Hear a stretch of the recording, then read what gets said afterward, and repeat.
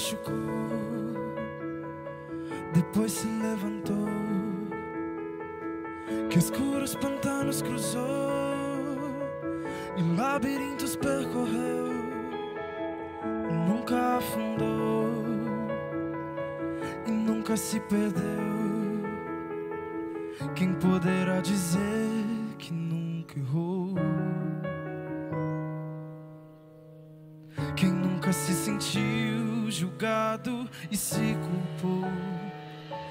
Cristo já te absolveu, te perdoou e esqueceu, quem pode agora te acusar? Quem vai te condenar?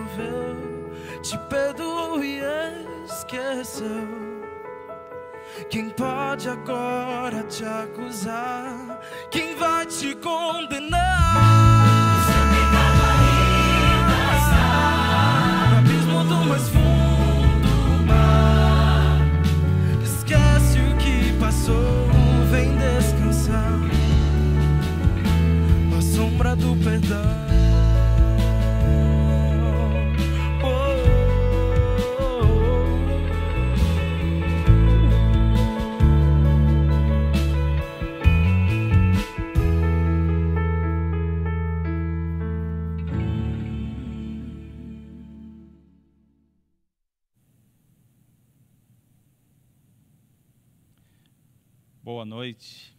Que a paz do Senhor Jesus Cristo esteja com você, sobre sua família, sobre o seu lar, sobre o seu trabalho, sobre a sua saúde. Que o Senhor Jesus Cristo faça parte, ativa no seu dia a dia, para que você seja alguém feliz, para que você perceba o amor dele em sua vida. Esse é o desejo da igreja do NASP para você. Que o Senhor Deus abençoe você, amigo da Novo Tempo você que nos acompanha, Deus dirige sua vida e obrigado por sintonizar mais uma vez nesse momento, por ter recebido aí o envio que esse vídeo está acontecendo. Obrigado por parar o que você estava fazendo para nos acompanhar aqui. Tá bem? Eu quero estudar a Bíblia com você. Por isso eu vou convidar você a pegar a Bíblia, se você tem em sua casa, busque no cômodo, pegue aí na estante, quem sabe na gaveta guardada no seu quarto, no, do lado no criado mudo, pegue-a. Vamos estudar hoje sobre o poder de Cristo, sobre esse Deus poderoso, sobre o nosso Salvador Jesus Cristo e o que ele pode fazer na vida das pessoas, o que ele pode fazer na sua e tem feito, e o que ele tem feito e pode fazer na minha também. Por isso convido você a, com a Bíblia na mão, fechar os olhos e orar comigo. Grande Deus, com tua palavra nas mãos, pedimos a tua bênção para estudá-la, para entendê-la e para praticar os ensinos que o Senhor deixou aqui para nós. Perdoa os nossos pecados, meu Pai, e ajuda-nos a aprender mais do Senhor Jesus Cristo, em nome do Senhor Jesus. Amém. Nós vamos estudar Lucas capítulo 7, a partir do verso 11. Acompanhe comigo. Vai dizer assim: Em dia subsequente, dirigia-se Jesus a uma cidade chamada Naim, uma cidade que fica perto, próximo a Galileia. E iam com ele os seus discípulos e numerosa multidão. Bom, aqui Lucas já está trazendo um fato que está ocorrendo. Só que a construção do que Jesus ensinava, ela começa a partir do capítulo 6, no verso 17. Parece que aquele público continua acompanhando Cristo e pelos seus ensinos uma multidão é formada e eles querem absorver do conhecimento, eles querem absorver das palavras. Quem sabe a voz cativante de Cristo ensinando a palavra do Senhor, sua própria palavra, reúne grande multidão. E essa multidão segue a Jesus Cristo, sedenta por ouvir mais. Sabe, eu acredito que nessa multidão existiam ali pessoas que eram surdas e agora ouvem. Pessoas que eram mudas, mas agora, agora falam. Pessoas que eram aleijadas, mas agora andam e correm. Pessoas com problemas mentais que agora foram curadas pelo poder curador de Cristo. E enquanto caminham, nós encontramos pessoas que foram salvas, pessoas que foram curadas, acompanhando aquele que as curou. Essa é a multidão. É a multidão de ex, ex-viciados, ex-surdos, ex-mudos, ex-cegos, ex-coxos. A multidão que acompanha a Cristo é um povo que foi curado por Ele.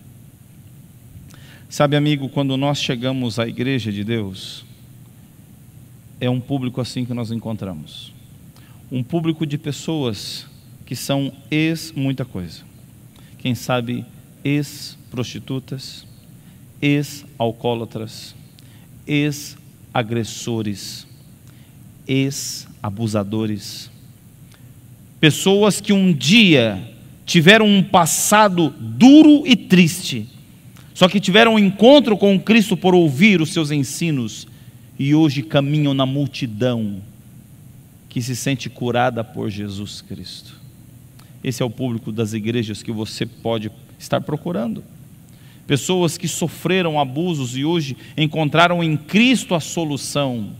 É esse tipo de pessoa que você vai encontrar na igreja.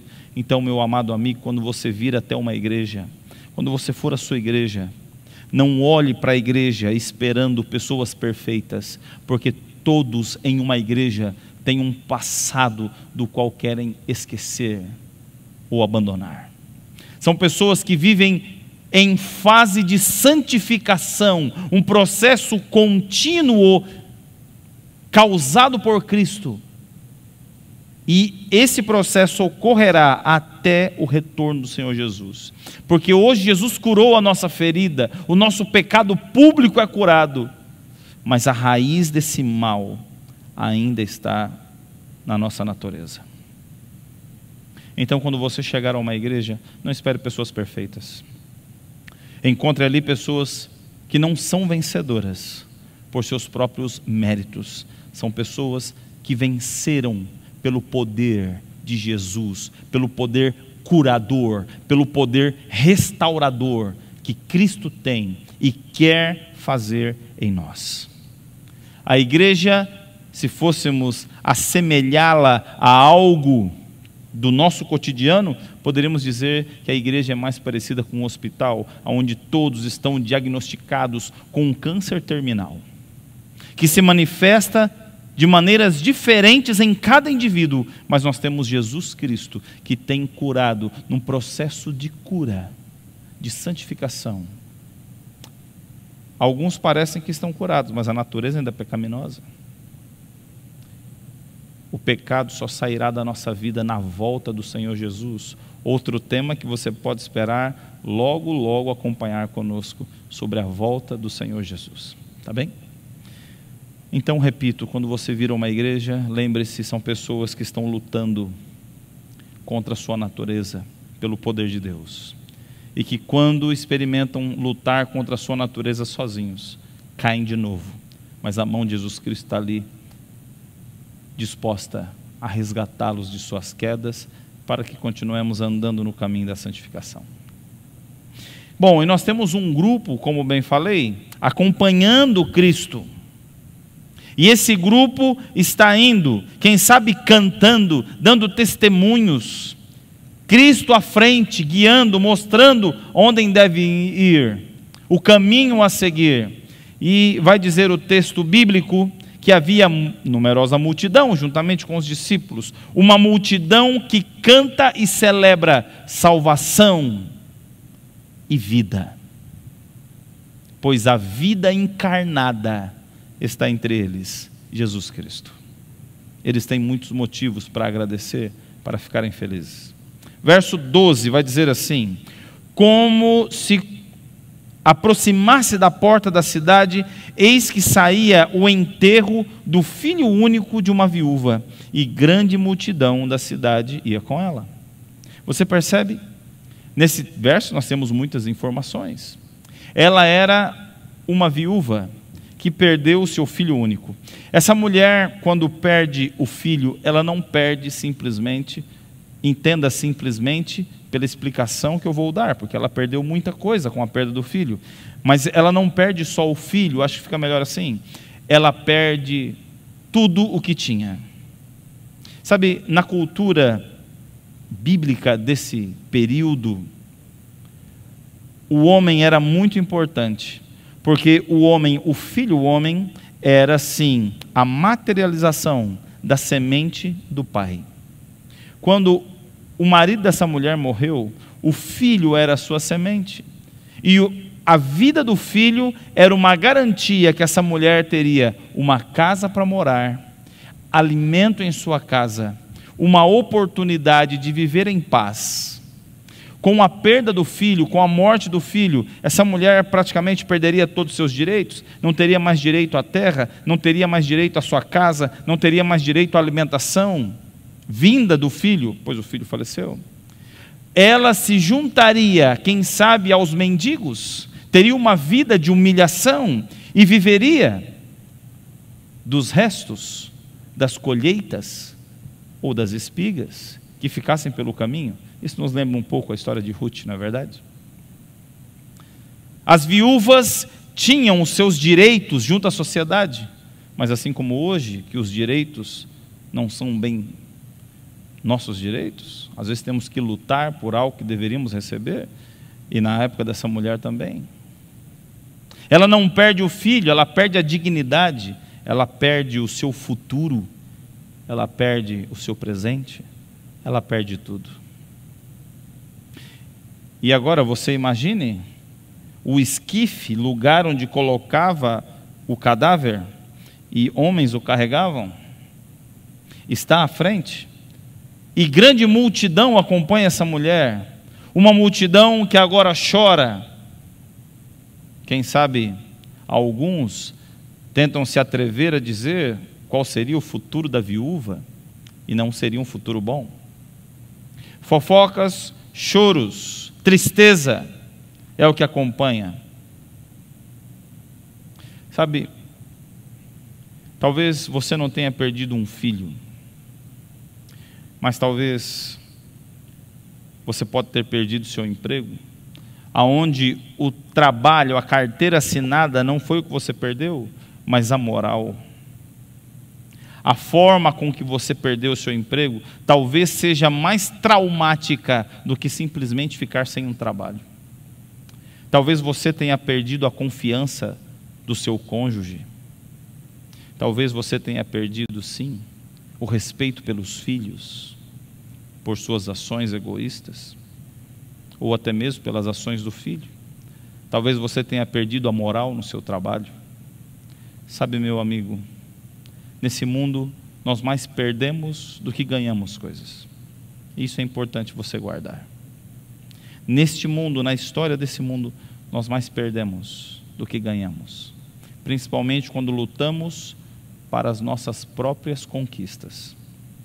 A partir do momento em que entregamos a nossa vida a Cristo, nós começamos a receber, nós começamos a ganhar muito mais do que quando vivemos para nós mesmos. Porque tudo que podemos conquistar aqui nessa terra pode ser perdido, pode ser tirado de nós, mas a vida eterna oferecida por Cristo, ninguém pode tirar os benefícios de uma vida voltada a Jesus Cristo, isso ninguém pode tirar de você. Nesta terra nós perdemos, podemos perder entes queridos, podemos perder o trabalho, a família, a saúde e até a vida. Mas há esperança quando a nossa vida é voltada a Cristo, que promete que nem a morte pode nos separar dele e do seu amor. Haverá um dia em que ele ressuscitará todos aqueles que foram fiéis e se ele não voltar, enquanto eu estiver vivo, eu quero ressuscitar ao som da trombeta de Deus, ao sopro do Cristo, nos chamando para ter uma vida eterna com Ele. Portanto, pense bem onde você tem colocado sua força e sua atenção, pois tudo que conquistamos nessa vida fica aqui. Tudo que lutamos para massagear nosso próprio ego, amanhã pode ser tirado de nós. Esforce-se para ter uma vida voltada a Deus, mais do que a si mesmo. Dê o seu sangue e sacrifício pela sua família, mais do que pelas suas ambições egoístas, e Jesus Cristo te trará paz, a paz que você deseja, a paz que você busca há o encontro de duas grandes multidões, uma que vem cantando, feliz, comemorando a vida, a vida que está em Cristo, pessoas foram transformadas, foram curadas, foram alcançadas. Do outro lado, encontramos outra multidão, triste, cabisbaixa, chorando, quem sabe, músicas de tristeza estão sendo cantadas, mas há um encontro desses dois grupos. Enquanto o grupo da vida é liderado por Cristo, o grupo que contempla a morte é liderado pelo esquife que carrega o menino, filho único de uma viúva. O verso 13 vai trazer uma informação interessante, vai dizer para nós o seguinte: Vendo-a, o Senhor se compadeceu dela e disse: Não chores. Olha que magnífico. Sabia que compaixão é uma palavra que na Bíblia sempre está ligada a Cristo? Jesus é o nosso exemplo de compaixão. Mesmo quando nós estamos falando na história do samaritano, a compaixão é trazida ali pelo samaritano com aquele que ele não sabia quem era. E aquele samaritano tem atitudes como a que Cristo tem. Quem tem compaixão hoje imita um sentimento, ou copia um sentimento, ou compartilha um sentimento, que nasce em Cristo, passa pelo nosso coração, e então é oferecido para alguém, quem sabe até desconhecido, como era esse caso. A Bíblia não narra, nenhum dos quatro evangelhos narra um momento em que Jesus e essa mulher tenha tido algum encontro numa sinagoga ou mesmo em uma casa. O que nós encontramos é Jesus tendo misericórdia, tendo compaixão de alguém que está sofrendo. De quem você tem tido compaixão?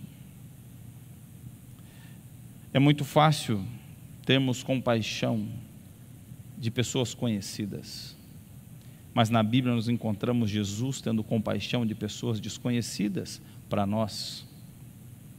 Nós temos Jesus oferecendo compaixão, oferecendo um sentimento de aproximação de pessoas que têm o seu primeiro encontro com Ele. Cuidado para não cair na comodidade de tentar ajudar apenas pessoas que você conhece. Meu conselho para você ore e esteja disposto a ajudar a pessoa que Deus colocar em sua frente, em seu caminho, na sua vida. Eu entendo que talvez você tenha suas desconfianças e queira determinar para quem vai sua ajuda e sua compaixão. Mas um conselho de amigo para você, meu querido amigo. Deixe Cristo escolher por nós, porque Jesus sabe o que vai no coração das pessoas, e Ele sabe o que vai no coração das pessoas que necessitam de ajuda, e Ele sabe o que vai no nosso coração. Peça o conselho de Cristo para quem você pode ajudar. E pergunte a Ele, Senhor, coloque em meu caminho alguém sincero que possa fazer a diferença na vida dessa pessoa. Eu não estou dizendo que você não deve ajudar quem você quiser, eu estou aconselhando você a pedir a Jesus Cristo que te mostre quem é a pessoa que Ele quer que nós ajudemos, que hajamos com compaixão. Outro ponto importante nesse diálogo com Cristo, que me apaixona e me toma de atenção, é quando Jesus, antes de oferecer alguma coisa, diz para a pessoa assim: Olha, calma, não temas, não chores. Sabe, Jesus ele tem uma maneira estranha de lidar com a gente, muito estranha. E a principal delas é pedir que nós confiemos nele. Ele não vai pedir para você confiar nele sem que você o conheça, pois nós temos todos os relatos do Antigo e Novo Testamentos para saber quem é esse Cristo que hoje diz assim: olha, não temas, não tenha medo. E aqui ele aconselha a mulher: não chores como não chorar? Ela acabou de perder o seu filho, o único filho. Ela acabou de perder sua esperança, acabou de perder sua dignidade. Ela acabou de perder a sua garantia de um futuro sendo cuidada por alguém. Quando Jesus diz para você não tenha medo, quando Jesus diz para você não chores, quando Jesus diz para você confie em mim, pode confiar de verdade, porque se ele disse isso, é porque ele já tem a solução para a sua vida, ele já tem a solução para o seu problema, ele já tem a solução para o seu caminho. E o verso 14 vai dizer que chegando-se, Jesus toca no esquife, e parando os que conduziam, disse: Jovem, eu te mando, levanta-te. Uau! Pelas leis do Pentateuco, dadas de Deus a Moisés, lá em Números capítulo 19, verso 16, vai dizer que nenhum homem deveria tocar um morto, nenhum homem deveria, pois se ele tocasse, ficaria imundo por sete dias. E aqui nós encontramos Jesus quebrando isso e tocando o morto. Sabe por quê? Porque Jesus é muito diferente de nós, muito diferente. E nós temos isso pelos testemunhos que a própria Bíblia traz. Você se lembra quando um leproso se aproximou de Cristo? E Cristo o tocou? Sabe, nós não contaminamos Cristo, ao contrário, nós somos purificados por Cristo quando nós o tocamos. Quando nós nos aproximamos de Cristo, nós não o contaminamos com nossos pecados, é Ele que nos purifica através do seu toque salvífico, magnífico e misericordioso. Sabe, meu amigo, você não precisa se esconder por conta dos seus pecados, você não vai contaminar Cristo, você não envergonha Cristo quando se aproxima dele, reconhecendo a carga de pecados que você acumula, e nós temos essa garantia olhando para Lucas capítulo 15: pois o filho pródigo, quando volta, o pai não tem nojo, o pai não tem raiva, ao contrário, o pai o abraça, o pai o beija, o pai o cobre com vestes novas. É isso que Deus quer fazer com você. Então, se eu estou falando agora com alguém que acredita que pecou demais, que foi longe demais, que não tem mais salvação, que os seus pecados estão muito profundos na sua vida, eu digo a você, preste atenção: Jesus Cristo quer tocar você, salvar você, purificar você, limpar você e salvar você para sempre. Jesus para e ressuscita o menino com Sua palavra, e ele diz: Levanta-te. E até um morto obedece. Olha o verso 15. Sentou-se o que estivera morto e passou a falar. Sabe, isso para mim é uma coisa muito profunda, muito direta muito importante. Na criação, nós encontramos o inexistente existindo a partir da palavra de Deus. O que não existia passou a existir porque Deus ordenou que existisse e a não existência obedeceu e passou a existir. Nós encontramos os animais respondendo através da existência à ordem divina. E agora o que era barro se torna a flora dos animais que nós temos hoje.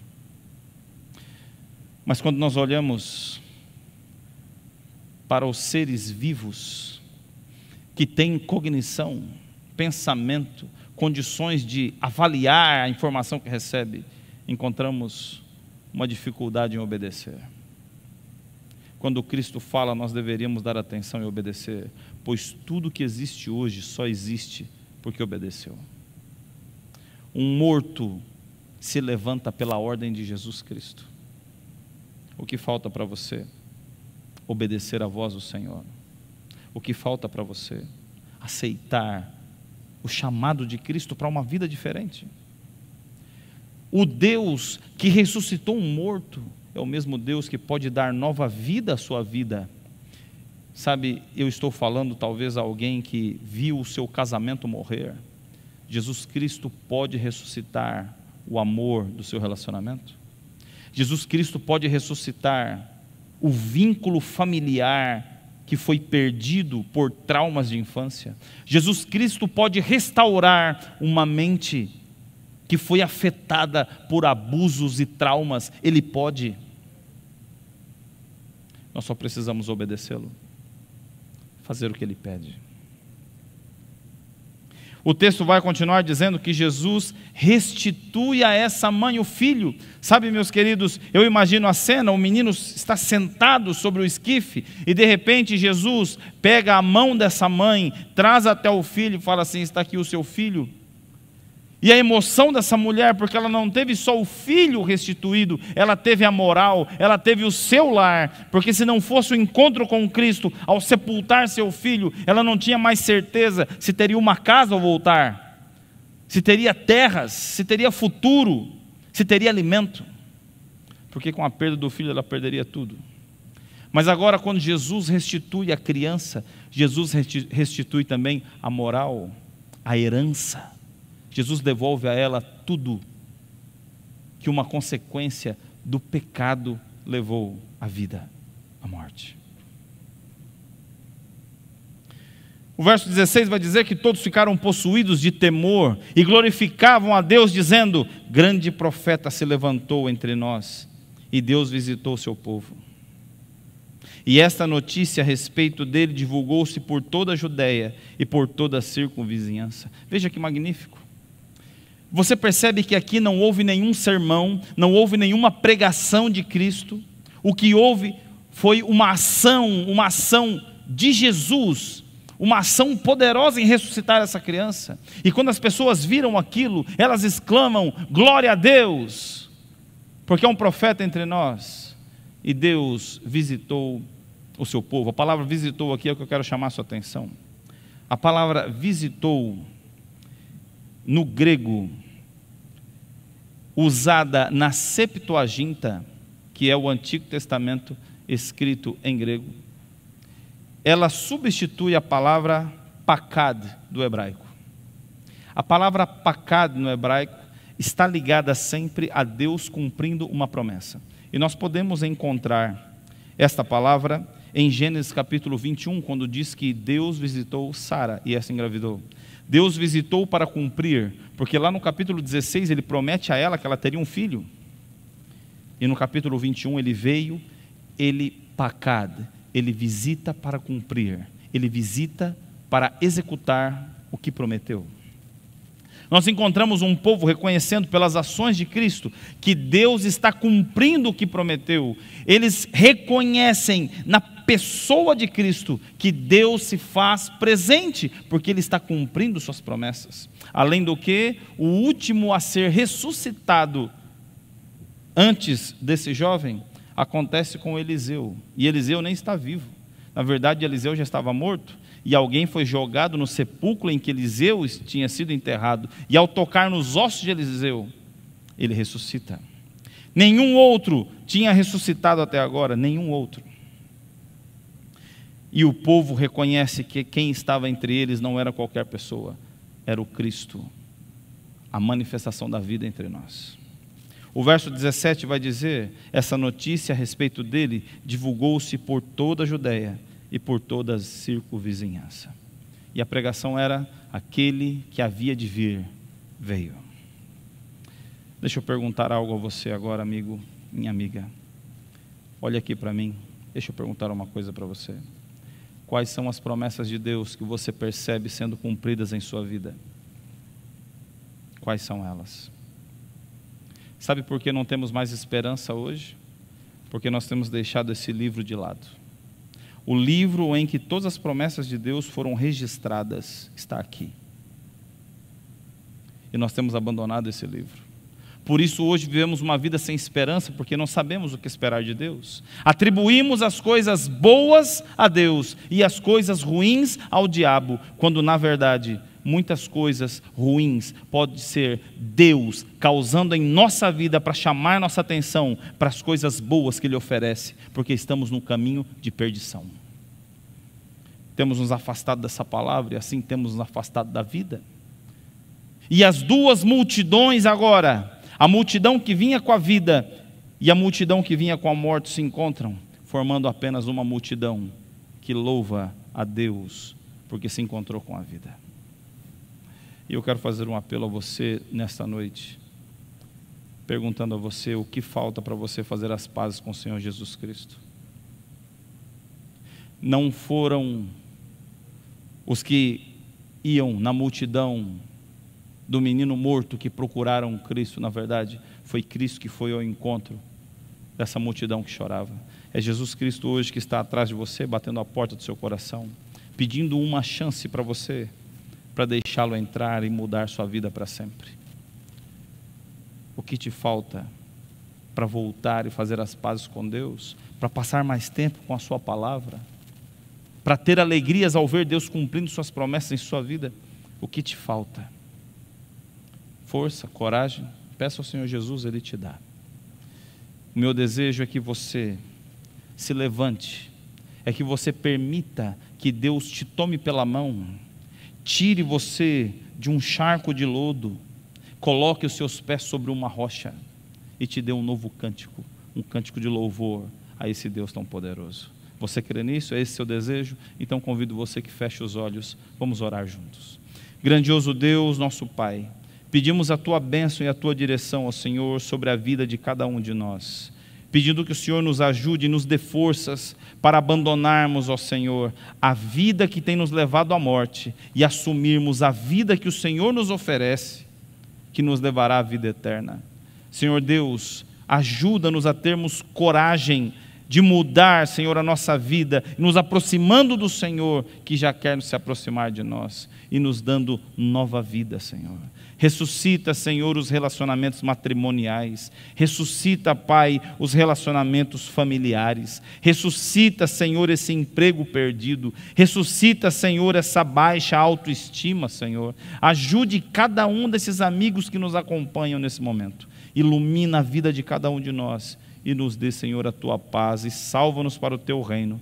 Em nome do Senhor Jesus. Amém. Que Deus abençoe você. Nos vemos no próximo domingo. Até lá.